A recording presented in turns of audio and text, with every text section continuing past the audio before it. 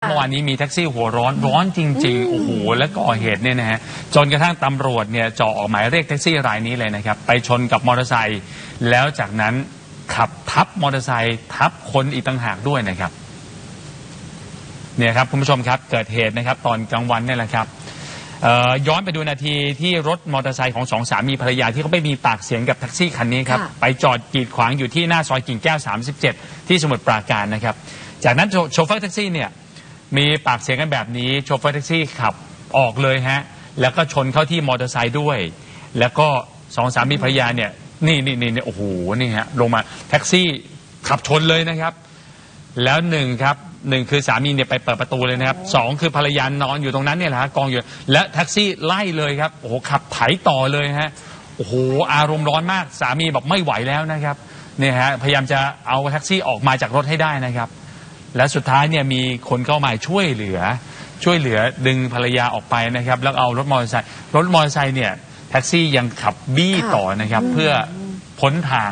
แล้วตัวเองก็ขับออกไปเนี่ยนะครับ เหตุการณ์เกิดเมื่อวันอาทิตย์ที่ 20 มีนาคมที่ผ่านมา ผู้สื่อข่าวล่าสุดลงไปดูนะฮะความค่ะคืบหน้าที่สพกิ่งแก้วนะครับอืมก็ขอไปสพบางแก้วครับค่ะค่ะ ก็ไปพบกับคุณสมพรอายุ 46อ่าปีนะครับ แล้วก็ใช่นางสาวจันทิมาอายุ 45 ปี ซึ่งเป็นสองสามีภรรยาเนี่ยแหละครับ ก็เป็นเจ้าของรถมอเตอร์ไซค์ค่ะที่ถูกชนให้มันล้มลง แล้วก็ไล่บี้และภรรยาอยู่ตรงนั้นด้วยเนี่ย รถไม่สนใจเลยทับต่อนะฮะ แต่ค่ะว่าโชคดีที่ไม่ได้อยู่ในระยะที่เอ่อรถจะไปทำร้ายเขาได้นะครับอืมค่ะก็ทราบชื่อคนขับแท็กซี่แล้วค่ะคุณชาญชัยใช่คุณชาญชัยนี่เมื่อวานนี้ก็เข้ามารับทราบข้อกล่าวหานะครับ มีการเจรจา ชดใช้ค่าเสียหายกัน 20,000ครับ สองหมื่นบาทนะคะ แต่เขาบอกว่าขอแบ่งจ่าย เออ ขอแบ่งจ่ายเป็นงวดๆได้ไหมแล้วตอนนี้ก็จ่ายมาแล้ว 5,000 บาท พอนัดเจราจาในครั้งที่สองปรากฏว่าคุณชันชัยไม่ยอมมาคุณผู้ชม แล้วก็ไม่สามารถติดต่อได้ ผู้เสียหายก็มองว่าอ้าวพฤติกรรมแบบเนี้ยมันคือการตั้งใจหลบหนีหรือเปล่า ไม่มีความรับผิดชอบไหมพร้อมยืนยันนะคะ บอกว่าจะไม่ยอมความเด็ดขาด ไปบีบแต่ไปทีหนึ่งแล้วทีนี้ก็ไม่พอใจเปิดกระจกมาแล้วก็พูดแบบแบบหยาบเขาบีบบีบแต่หาอะไรประมาณเนี้ย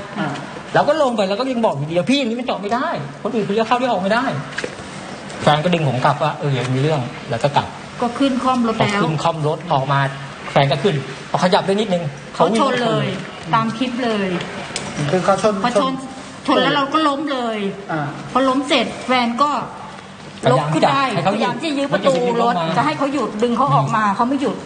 เขาเหยียบซ้ำไปอีก ก็คือตอนแรกอะเราก็ไก่เกลี่ยได้เราจะไม่เอาอะไร แค่ว่าเขารับผิดชอบ แต่การกระทำของเขาไม่ใช่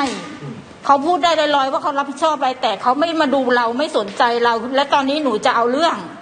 หนูไม่ยอมแล้ว ไม่ยอมแล้วอะอืค่ะมผู้เสียหายบอกค่ะไม่ยอมแล้ว เพราะว่าดูท่าทีแล้วจะเบี้ยวอะไม่มาจ่ายอะนะคะ